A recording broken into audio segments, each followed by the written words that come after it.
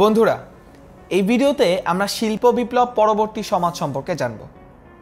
আমরা এর আগের ভিডিওতে জেনে এসেছি যে আঠারো উনিশ শতকে শিল্প বিপ্লব ঘটে এবং শিল্প বিপ্লব পরবর্তী সমাজে যেই প্রধান বিষয়টি ঘটে তা হচ্ছে শিল্প বিপ্লবের কারণে মানুষজন যেই সমাজের শক্তিগুলো নিয়ে থাকে, অর্থাৎ শিল্পভিত্তিক সমাজে যেই শক্তির উৎসগুলো ছিল, মানুষ এবং পশু, সেগুলো স্থান দখল করে নেয় যন্ত্র। অর্থাৎ শিল্প বিপ্লব পরবর্তী সমাজের ভিত্তি হচ্ছে জ্ঞান এবং তথ্য। শিল্প বিপ্লবে শিল্পের বদলে তথ্য প্রক্রিয়াজাত করাই অর্থনীতির মূল বৈশিষ্ট্য। মূল বৈশিষ্ট্য কি?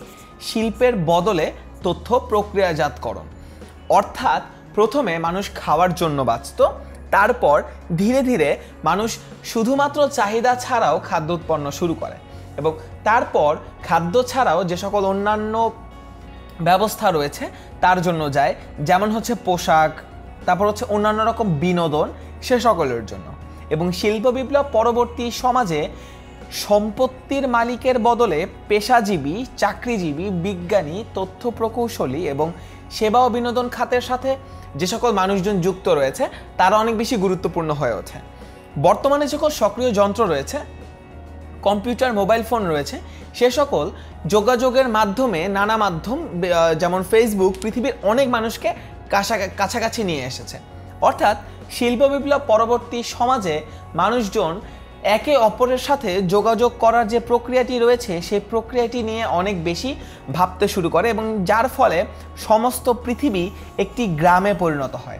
অর্থাৎ আমরা চাইলেই কিন্তু নিজেরা একই জায়গায় বসে বর্তমানে এই সমাজে অন্য জায়গার আরেকজন মানুষের সাথে কথা বলতে পারব, তাকে দেখতে পারব। এই পুরো প্রক্রিয়াটির নাম হচ্ছে বিশ্বায়ন। অর্থাৎ বিশ্বায়ন বলতে বোঝায় যে পুরো পৃথিবীকে একটি গ্রামে অর্থাৎ একটি ছোট এককে ভাগ করে ছোট এককে নিয়ে আসার যে প্রক্রিয়াটি, সেটি হচ্ছে বিশ্বায়ন। আজকের মধ্যে এতটুকুই, তবে শেষ করার পূর্বে একটি ব্রেন টিজার দিয়ে শেষ করতে হচ্ছে। বলতো শিল্প বিপ্লব পরবর্তী সমাজের ভিত্তি কি? শিল্প বিপ্লব পরবর্তী সমাজের যেই ভিত্তিগুলো রয়েছে, সেই ভিত্তিগুলো কি কি হতে পারে? যেমন, এটি কি জ্ঞান? এটি কি তথ্য? সেটি কি যন্ত্র নাকি বিশ্বায়ন? কোনটি? যদি সঠিক উত্তরটি জেনে থাকো, এখনই ভিডিওটি পজ করে কমেন্ট সেকশনে উত্তরটি দিয়ে দাও। উত্তরটি হচ্ছে জ্ঞান এবং তথ্য, অর্থাৎ দুইটি, জ্ঞান ও তথ্য। এই দুইটি শিল্প বিপ্লব পরবর্তী সমাজের ভিত্তি। আজকের মতো এতটুকুই।